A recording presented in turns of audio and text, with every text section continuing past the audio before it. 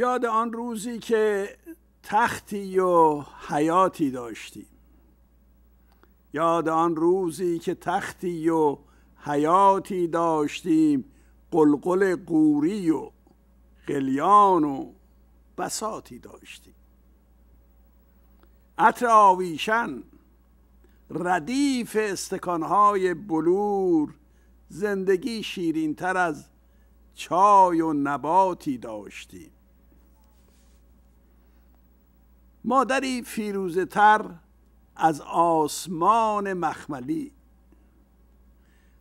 سایه مهر پدر ظهر و سلاتی داشتیم خانه ای گرچه کلنگی خالی از اندوه و غم با خبر از حال هم شور و نشاتی داشتی. نمنم چنگ و رباب و گلنراقی و قمر. نمنم چنگ و رباب و گلنراقی و قمر. هر شب جمعه که می‌شد سور و ساتی داشتیم. نرده های غرق پیچک نرده های غرق پیچک پله پله اطلسی. گام پاورچین و غرق احتیاطی داشتیم.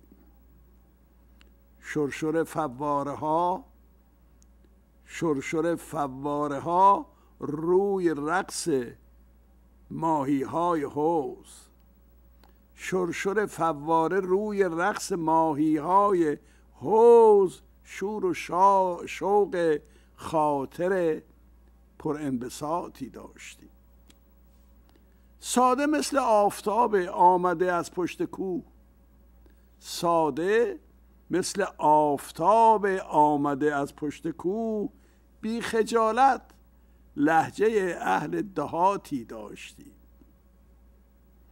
حافظ از شاخ نباتش. سعدی از سیمین تنش. فائلاتون فائلاتون فائلاتی داشتی.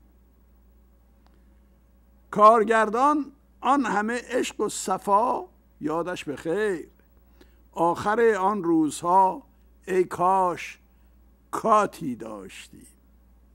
اصطلاحات فیلم برداریه عکس ما را قاب کن. عکس ما را قاب کن هر چند با گرد و غبار. عکس ما را قاب کن هر چند با گرد و غبار. تا که خوشبختی بداند. خاطراتی داشتی. تا که خوشبختی بداند خاطراتی داشتی.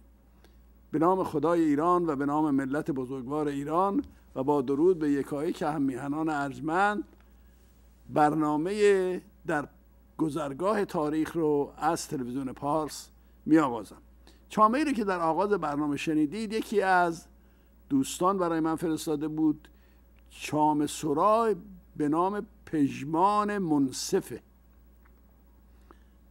بسیار روان و شیوا و پر احساس گفته بود. بینندگان ارجمند دو سه روز پیش چهارم جولای بود روز استقلال امریکا. روز رهایی امریکا از چنگال استعمار انگلستان.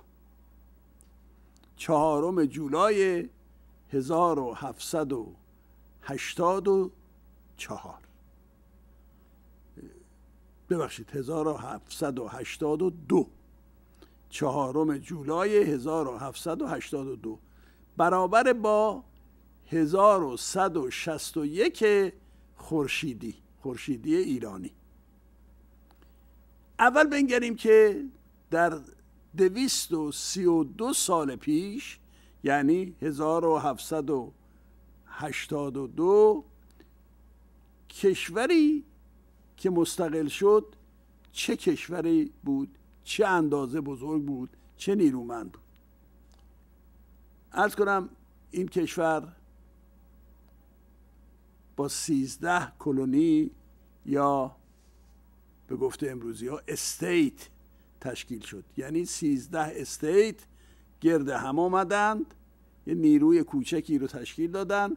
پان امریکن گفته شد به اونها یعنی اتحاد و همبستگی امریکایی. و این کشور زاده شد. یه جای کوچیکی در خاور آمریکای کنونی. در طرف واشنگتن اینا. حالا ببینیم در همان زمان ایران در چه حالی بود؟ ایران چگونه بود؟ در همان زمان نادر پیروزمندانه هندوستان را شکست داده بود. کشوری که به سفیرش اهانت کرده بود. کشوری که در اثر بیتوجهی به حفظ یکی از سفیران ایران اون سفیر محمد خان ترکمن در دهلی کشته شده بود. کشوری که به نادر به نادر نمی‌خواست خون بها بده. در نتیجه نادر به هند حمله کرد و داستانش هم که داریم میگیم و امروز هم دنباله اون خواهد بود تا هر زمانی که تمام بشه. به هر روی نادر از هندوستان پیروزمندانه برگشته بود و طبق پیمانی که با پادشاه هند با امپراتور هند محمد شاه بسته بود از شهر پیشاور به شمال جز خاک ایران شد. از شهر پیشاور در هند به شمال تمام اون شهرهایی که در شمال پیشاور بود و بعد اون تنگه خیبر و اینا همینطور تا میاد جلال آباد افغانستان و سراسر افغانستان و و بعد میره تا شمال بخارا. این بخش بخشش خاوری ایران بود و از خاور به طرف باختر از مرز تبت می اومد افغانستان و بعد ایران کنونی که ما داریم و بعد میره به طرف بغداد به طرف عراق و تا بغداد رو هم تا نزدیک بغداد بود از با شمال هم اربیل و موسل و اینا همه جز خاک ایران بود. از سوی باختر از شمال قفقاز گرجستان داغستان ارمنستان و پایین تر میام که خود کشور خودمونه و سواحل و کرانه های جنوبی خلیج فارس هم پهنه این ور ایران بود. ما یک همچی سرزمین گسترده عجیب از تبت تا موسل از بخارا تا پیشاور از بالای افغانستان تا جنوب خلیج فارس رو از بالای قفقاز تا جنوب خلیج فارس رو داشتیم. اون کشور در سی و دو سال پیش استقلال پیدا کرد و این کشور این پهنه رو داشت و این قدرت. خب حالا بنگریم اکنون چی شده؟ بعد از دویست و سی و دو سال. اون کشور کوچیک محقر که سیزده کلونی تشکیلش داده بودن اون بعد شد 20 state 25 state 40 سی state 40 state 48 state 50 state و امریکای غول‌آسای امروز رو ساختن. در عرض دویست و سی و دو سال. این کشور زیباترین سرزمینه نیرومندترین ارتش های جهان رو داره بزرگترین دولت جهانه و در عوض ما تکه تکه سرزمینمون رو گرفتن. هندوستان رفت افغانستان رفت خارزم رفت تاجیکستان رفت ازبکستان رفت قرقیزستان رفت ترکمنستان رفت یه بخش کوچکش مونده. از این ور قفقاز رفت 17 شهر قفقاز رفت گرجستان رفت داغستان رفت ارمنستان رفت و اومد پایین و سواحل جنوبی خلیج فارس رفت و آخر هم هم بحرینمون رفت. کجا بودیم ما و کجا بودند اونها؟ چه هستیم کنون ما و چه هستند کنون آنها؟ به راستی ما ملت رو چه شده؟ چه چیزی در رفتار ما در گفتار ما در پندار ما؟ چه میکروبی ریشه دوانیده که این گونه ما را دانه دانه دارن تکه تکه از بغلمون می‌برن و هنوز هم رها نکردن؟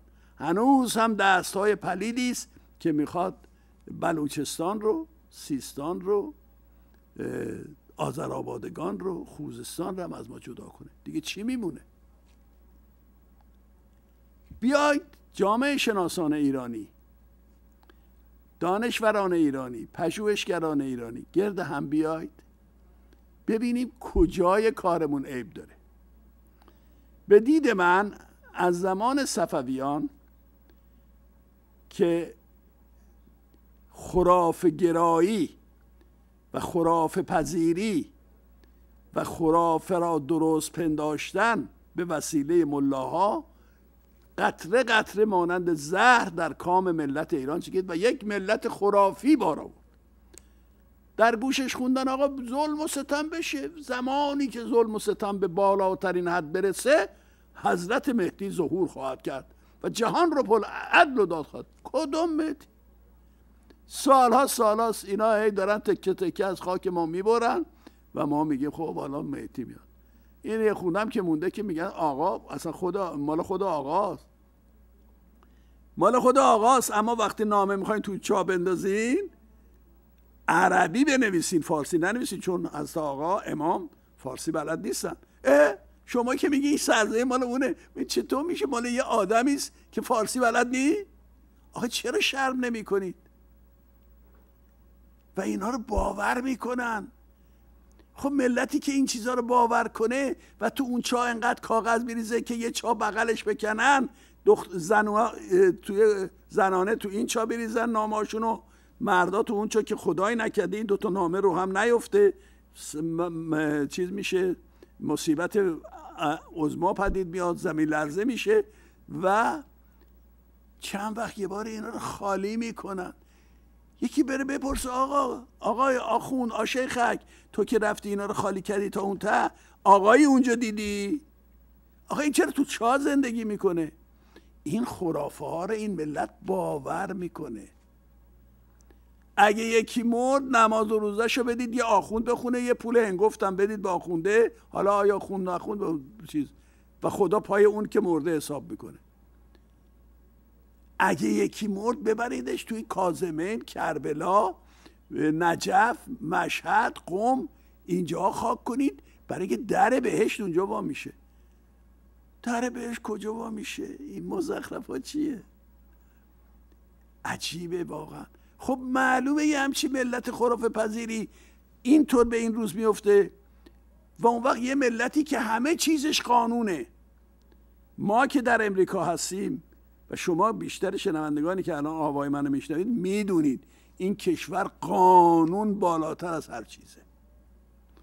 در این کشور به رئیس جمهور شوخی می‌کنن متلک میگن به ارتشی ها متلک میگن به خودشون متلک میگن به همه چی میگن با همه چی شوخی می‌کنن.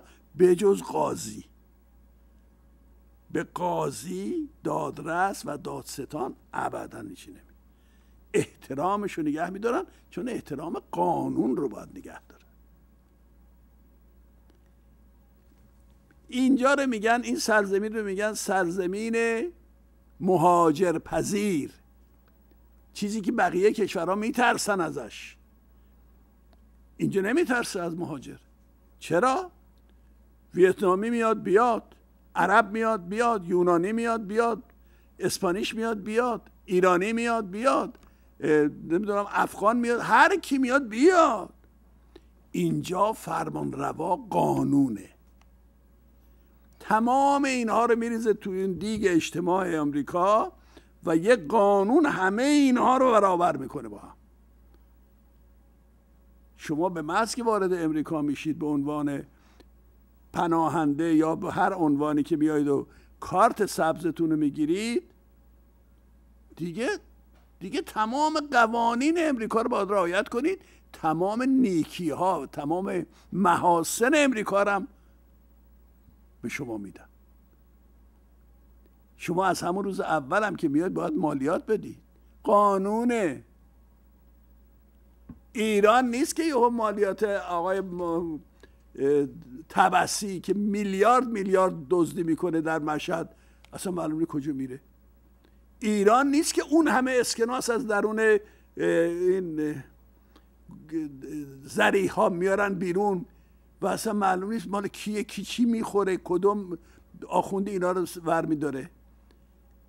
ایران نیست که پسر آقای خامنه ای و ایکس و ایگرگ و آقا مالیات ندن.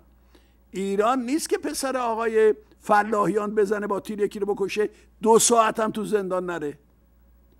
اینجا کشور قانونه. خب معلومه وقتی که همه در برابر قانون یکسان باشن عقده ای به وجود نمیاد. همه کار می‌کنن همه مالیات میدن همه سرزمینشون رو بلند می‌کنن. آمریکای 232 سال پیش میشه آمریکای امروز. هنان. یکی دیگه از مسائلی که پدر ما رو در آورده تملقه. چاپلوسی بزرگان و سربران و رؤساست. آقای فتلی شاه قاجار تکه تکه 17 شهر قفقاز رو داد قسمت خارزم رو داد همه رو داد. ولی تمام صبح تعظیم می‌کردن شاهنشاه گیتی ستان لقبش بود. اه داره ایران رو از دست میده اما گیتی ستانه. جاش میره گیتی رو میستانه. بله. این بدبختی ماست. همون حتما این لطیفه هم شنیدید که میگه روز ناصر شاه خوراک بادمجون می‌خورد. گفت به به چقدر خوراک خوبی این خوراک بادمجون. اون دوروری ها همه که بودن بله قربان خوراک بادمجون بسیار خوب خوراکی اینا. یه چند وقت دیگه خوراک بادمجون آورد شاید از بس زیاد خورده بود یا اون بعد درست کردن گفت خوراک بدی است. گفت بله همه دور بله قربان همینطوری میفرمایند. قبله عالم میفرمایند. قبله عالم! اسمو به ناصر دیشم گفتم قبله عالم.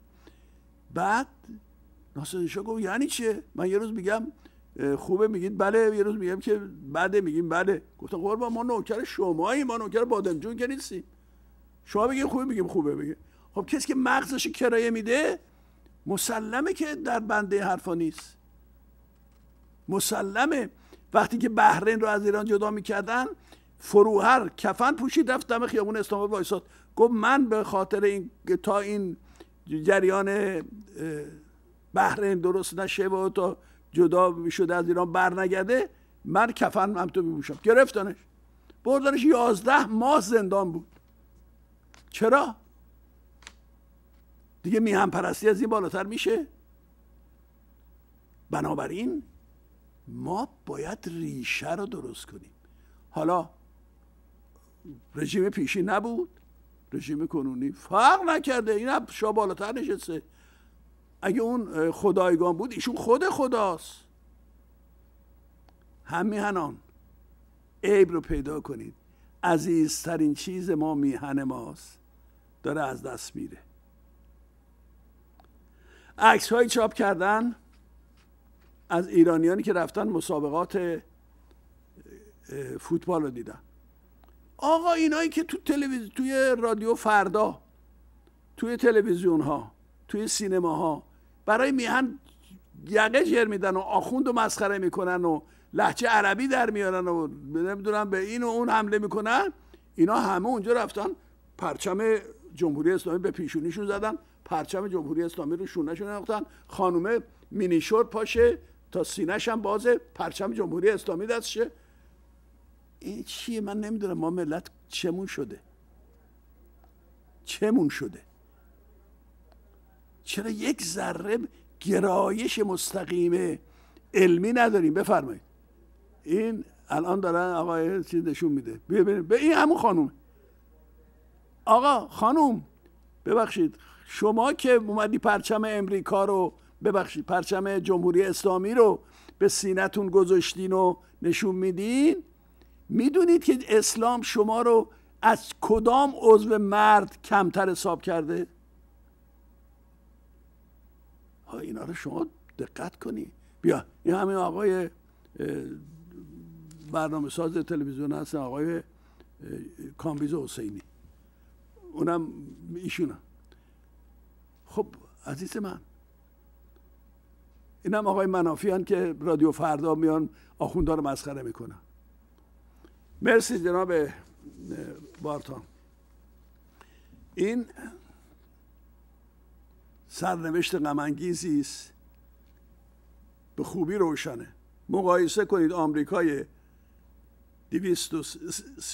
دو سال پیش رو با ایران دو سال پیش و آمریکای امروز رو با ایران امروز. خودتون برید. به قول معروف تعیین کنید پرتغال فروش رو. همه این خانومایی هستن که ناراحتن همه اینا. نه آقای شریفی نیا بودن دیدین. بله.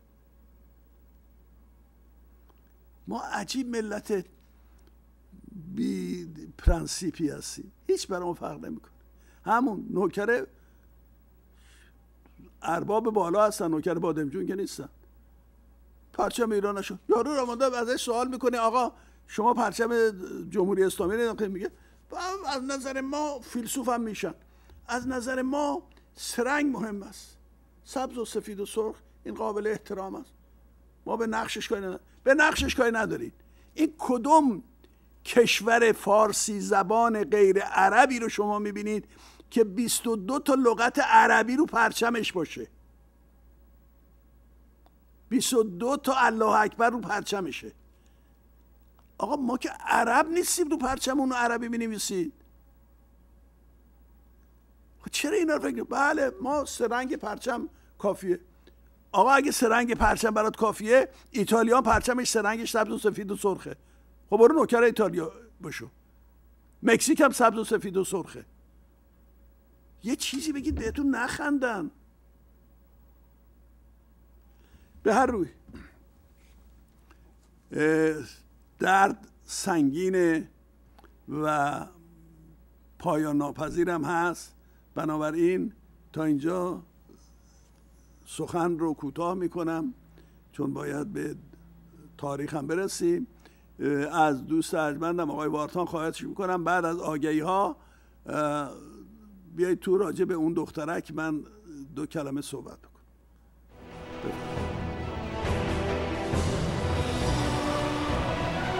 یک ملت را دو ستون استوار می‌تواند بر سر پا نگه دارد. فرهنگ و آینهای ملی تاریخ و قهرمانان دلاور او که راهگشای مردم به سوی آینده هستند.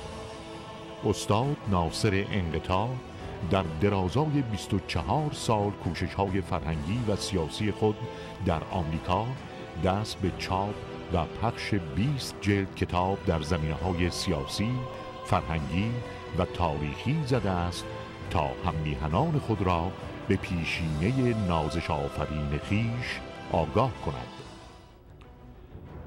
پژوهشی درباره هفت سین جشنهای ایرانی و ریشه آنها. روزهای آوارگی زندگی پرفراز و فرود نادرشاه پنجاه سال تاریخ کنونی ایران. طوفان زرد تک و تاخت مغول به ایران. امیر کبیر مرد بزرگ تاریخ ایران. در جرفای واژه ها و شناخت زبان پارسی شیر و خورشید نشان سه هزار ساله.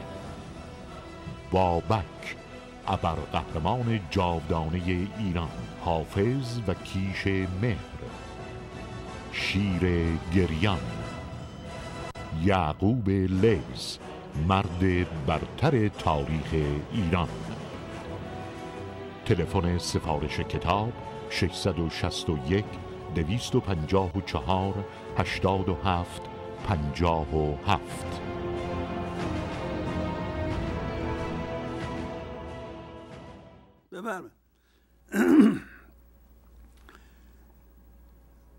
با این همه همیهنان من امیدم به نسل آینده است. نسل آینده ریشه آخوند رو خواهد کرد. اون مهم نیست. اون حتما خواهد شد. مهم اونیست که عیب رو در نظر بگیریم دیگه دنبالش نریم دوباره متملق نشیم دوباره چاپلوسی نکنیم دوباره این خرافات پرت و پلای بی پایه رو نپذیریم چون دکان آخونده. تا این موجود تا این پدیده تا این انگل وجود داره ما رو به عقب میریم و رو به قهقرا. یک تیکه رقص کوچکی از یک دختر خانوم بسیار زیبایی. حالا شما دختر خانوم هم میگم خیال می‌کنید خیلی بزرگه نه خیلی کوچیکه ولی بسیار زیبا میرقصه و همین نسله همین نسله که پدر آخوند رو در میاره. لطفا پخشش کنید آقای.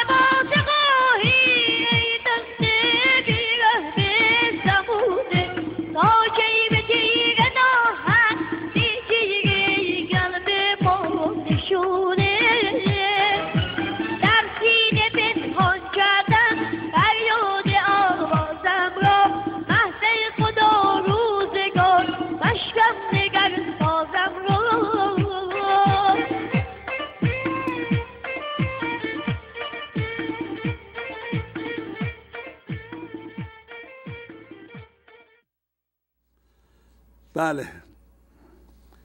موقعی که این هنرنمایی پخش می شد یکی دو تلفن شد و پرسیده بودن که برنامه های من چه ساعتیه؟ من بارها گفتم هر سه شنبه یعنی هر هفته روزهای سه شنبه چهار تا پنج پس از نیم روز برنامه در گذرگاه تاریخه و همین بازپخشش نیم شب امشب دوباره از تلویزیون پارس پخش میشه. و روزهای آدینم باز از چهار تا پنج پس از نیم روز این برنامه در پهنه بیکران زبان پارسی خواهد بود که اون اون وقت بازپخشش شش بامداد روز شنبه خواهد بود شنبه بعد. میریم به تاریخ می‌پردازیم. گفتم که سلطان محمد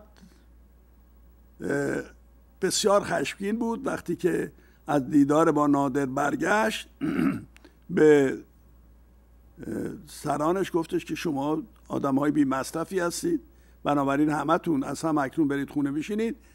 واحدهای زیر دست خودتون رو هم همه منحل کنید. فقط گارد شاهی و فرماندهان گارد شاهی بمونن و بقیه برن خونه. این خیلی به سرداران سنگین اومد.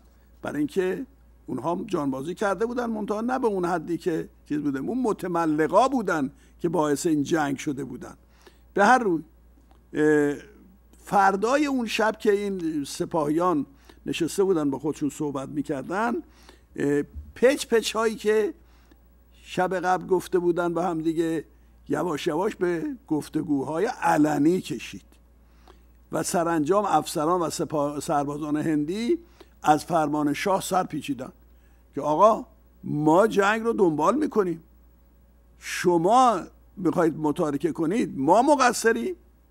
ما که نمی‌خوایم که بیگانه بر ما چیره بشه. ما نمی‌خوایم سربازان ایرانی برن در دهلی و زنان و دختران و ناموس ما رو باشون صحبت بکنن و احیانا بخوان تجاوزی هم بکنن.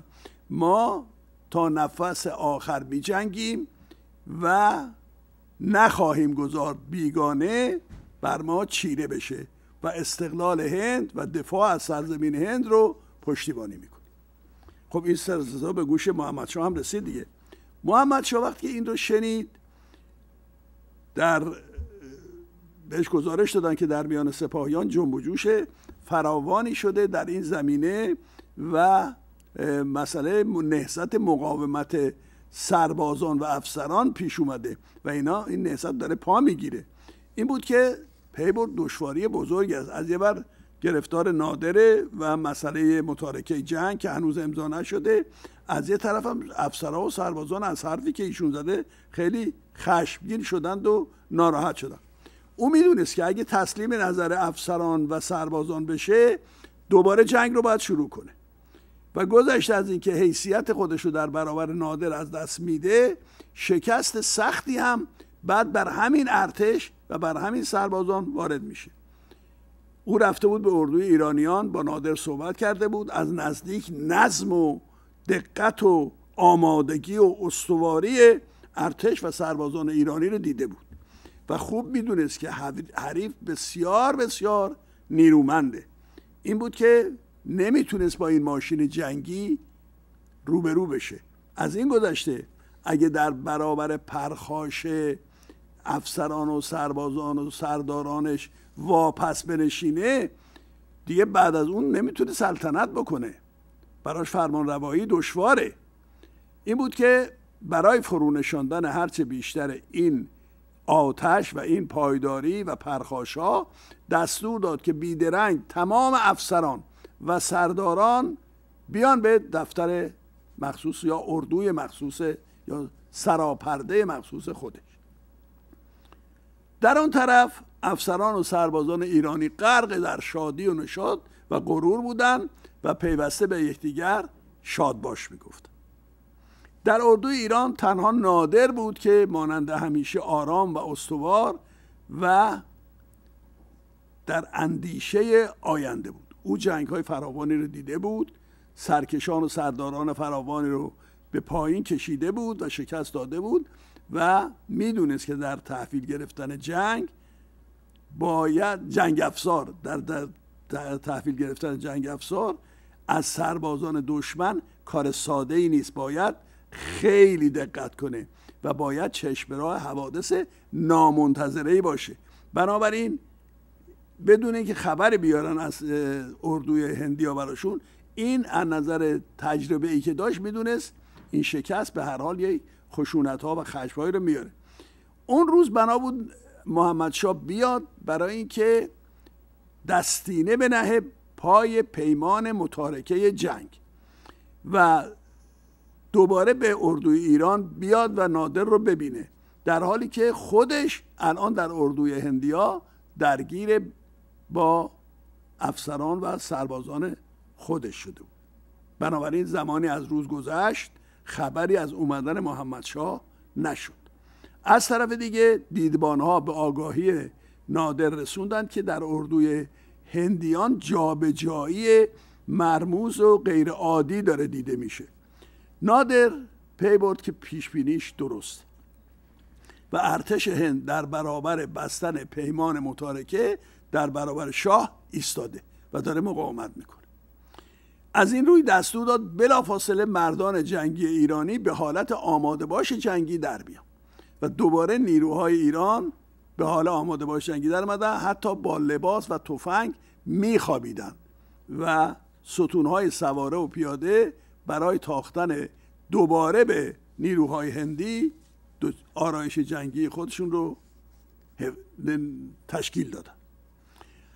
هنوز دقیقه های از فرمان نادر نگذشته بود که آوای کوس و شیپور از طرف اردو ایران بلند شد و ارتش نادری آمادگی خود را برای جنگ به حریف اعلام کرد. چون نادر دید نیومدن دیگه گفت خب من نمی‌تونم ساکت بنشم که. نادر نمی‌خواست که نیروهای هندی فرصت آمادگی و خودسازی و آرایش جنگی رو دوباره پیدا کنن برام بود که با فرمان شمشیر اونها رو وادار به پذیرش پیمان متارکه بکنن حالا شاید فکر می‌کرد مقصر محمد شاه هم هست شاید می‌دونست که او تقصیری نداره.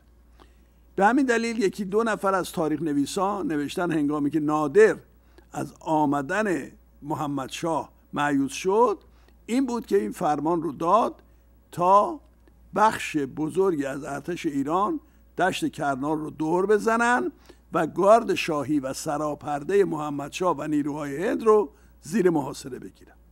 اما این گزارش که این دو تا تاریخ نویس نوشته از طرف تاریخ نویسان دیگر معتبر نیست. اونها در این زمینه خاموش. در هندوی در اردوی, اردوی هندوان نشست بزرگی که محمد شاه گفته بود که بیان و در حضور او گرد بیان و سخنان اون رو بشنون برپا شده بود. حالا افسران آمده البته همه ناراضی ولی خب هنوز احترام شاه رو دارن. شاه با یه چهره گرفته و رنگی پریده رو به فرماندهان سپاهیانش کرد و گفت سرداران افسران جنگندگان عزیز من وضع نیروهای ما بسیار تأسف آور است. ما در برابر دشمنی سرسخت آگاه و پرتوان قرار داریم. شمار فراوانی از سربازان ما کشته شدند و شما خود بهتر می‌دانید که هر کس تا آگاه است که من تا واپسیندم حاضر به تسلیم و پذیرش شرایط متارکه جنگ نبودم. اما با بازرسی های همه سویانه ای که کردم پی بردم که این آتش هرچه روشنتر بماند دامن ما را بیشتر خواهد سوزان بنابراین سربازان سرداران افسران به من اعتماد کنید. من هم کشورم را مانند شما دوست دارم. من هم مانند شما از اینکه غرورمان پایمال شده رنج می‌برم. و من هم از اینکه سربازان ایرانی در پایتخت میهن گرامیمان رفت و آمد خواهند کرد نگرانم و رنج می‌برم. و من هم از اینکه سربازان ایرانی شاید دست به تجاوز به سوی ناموسمان دراز کنند در وحشت هست ولی واقعیت ها رو باید درک کرد. و یا و با شکیبایی و تدبیر آرام آرام از وقوع آنها پیشگیری کرد و یا آنها رو زیر کنترل درآورد. ما هرچه با واقعیت های غیر قابل کنترل به جنگیم ناتوانتر زیان دیده تر و شکست خورده تر از پیش خواهیم بود. حالا محمد شاه داشت این سخنان رو دنبال می کرد و در چهره افسران و سربازان از سردارانش نگاه می‌کرد که ببینه اونها چه واکنشی نشون میدن. این این بود که گفت من به روشنی و با صداقت به شما خواهم گفت که تمام این حقایقی که شما گفتید بسیار تلخ است. اما چه می‌توان کرد؟ باید در برابر آن روش پسندیده و مدبرانه اتخاذ کرد. به نظر من تنها سه راه بیشتر پیش پای ما نیست. باید یکی از این سه راه را شما انتخاب کنید. یک با شرایط پیشنهادی نادر برای متارکه جنگ مخالفت کنیم و با نیروهای خسته و بیروحیه موجود به رو در روی با این عجوبه جنگی بپردازیم. و پیه همه تلفات و زیانهای آینده را به تن بمالیم در آن صورت کشور و ملت هند چه خواهد شد؟ آیا آنها را بی سرپرست و بی دفاع ول می‌کنیم رها می‌کنیم و از بین می‌رویم؟ همسران خواهران دختران چه بر سرشان خواهد آمد؟ این یک راه. راه دوم. شرایط پیشنهادی نادر را بپذیریم و آماده باشیم تا در آینده در فرصتی مناسب جبران این خاری و شکست رو بکنیم. سه اگر این دو شرط را قبول ندارید من با خوردن زهر خود را می‌کشم. آنگاه شما خود تصمیم گیرنده خواهید بود و هر گونه که خواستید عمل کنید. محمد شاه در پایان سخن خودش گفت من روز گذشته به عنوان پادشاه هند و به عنوان مدافع از منافع هند در وضع موجود تنها رایی که می‌شد انتخاب کردم و به اردوی ایرانیان رفتم و با نادر گفتگو کردم و به او قولها دادم. او را آدمی با شرف جوانمرد و سخت پیمان دیدم ولی به هر روی مدعی و دشمن ماست. اکنون اگر بخواهم. گامی جز آنچه که دیروز به او قول دادم بردارم شرافت و حیثیت خود را از میان بردم من حاضر نیستم چنین ننگی را بپذیرم. به همین دلیل مرگ را بر چنین زندگی ترجیح می دهم و راه سوم آن است که من خودکشی کنم و اختیار دست شماست. سخنان محمد شاه در روحیه سرداران و افسران اثری بسیار ژرف به جای گذاشت و با صداقت و سراحت کاملی که محمد شاه گفت اونها باور کردند که آنچه می‌گوید از ته دلم. البته اونها هم شاه خود را دوست داشتند. به ویژه که می‌دیدند در همه کشاکش و خطرهایی که در این چند روزه در جنگ کرنال در روی داده محمد شاه در کنارشان بوده. از اونها نبوده که در کاخ بنشینه و دستور بده برید به جنگید بلکه در مرکز اردوی جنگی چادر او و سراپرده او برپا بوده. و بنابراین هر را که او می‌گوید انجام داده. و اگر دست به خودکشی بزند ارتش هند از هم میپاشد. و ملت هند نابود می شود و دشمن هرچه بیشتر و سختتر بر آنان چیره می شود افسران یکی از سالمندترین خود رو انتخاب کردند که به علت آزمودگی و تجربه‌ای که داره به نمایندگی از اونها سخن بگه. افسر سالمند یاد شده گامی پیشنهاد و احترام نظامی به جای آورد. و گفت من به نمایندگی از سوی همه همسنگرانم. سوگن می‌خورم که آبروی امپراتور و ملت هند را بر جان خود ترجیح می‌دهیم ما نمی‌خواهیم که غرور ملی هند پایمال شود.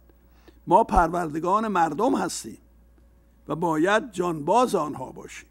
ما از حضرت امپراتور می‌خواهیم که دستور فرمایند گروهی از رایزنان امپراتوری به اردوی ایرانیان بروند و از نادر بخواهند که به سوی کشور خود بازگردد و هرچه خسارت و زیان جنگی می‌خواهد بگیرد ما به او بپردازیم. آنگاه است که نه کسی شما را سرزنش می‌کنند به شاه میگن نه جان سربازان از میان می‌رود و نه ملت هند سرشکسته خواهد شد. پول و گوهر و دارایی را می توان باز به دست آورد. ولی آبروی بر زمین ریخته ملی را نمی توان گردآوری کرد. و این یکی دیگر جبران پذیر نیست. در این هنگام همه سرداران سخن دوست سالمند خود را تصدیق و تایید کردند. ولی محمد شاه گفت سخن شما بسیار پسندیده است. سخن شما سخن دل من است. ولی توجه داشته باشید ما طرف دیگر قضیه را داریم که او نادر است. و روشن نیست که روی آنچه شما گفتید ایشان فرمان بلی بگذارد. آنگاه چه خواهیم کرد؟ درست در همین زمان بود که آوای کوس و تبیره و شیپور از سوی اردوی نادر به گوش رسید و محمد شاه گفت گوش کنید دشمن دوباره آماده جنگ است. و باید زود تصمیم بگیرید. من پیشنهاد می‌کنم که هرچه زودتر گروهی گرد هم بنشینند و با یکدیگر رایزنی کنند و چندین چند تن را برگزینند تا نزد نادر بروند و موضوع را با او در میان بگذارند و حل کنند. مطمئن باشند که او آدمی بسیار منطقی است در عین قدرت انصاف را فراموش نمی کند تا اینجا تاریخ رو داشته باشید دنباله اون که بسیار به جای حساسی رسیده در هفته آینده گفته خواهد شد. بنابراین از همه بینندگانی که زمانی وقت خودشون رو به این برنامه ویژگی دادن سپاسگزارم. وقت با ارزشی بود. از دوست ارجمندم در اتاق فرمان که با من تنگ همکاری کرد و ضمن گفتار من تصویرهایی که شایسته بود نشان داد. آقای وارتان سپاسگزارم. امیدوارم که همیشه تندرست و شادکام باشید کاش می‌شد سرنوشت خیش را از سرنوشت کاش می‌شد اندکی تاریخ را بهتر نوشت. کاش می‌شد پشت پا زد بر تمام زندگی. داستان عمر خود را گونه دیگر نوشت. تا درودی دیگر بدرود و پاینده ایران.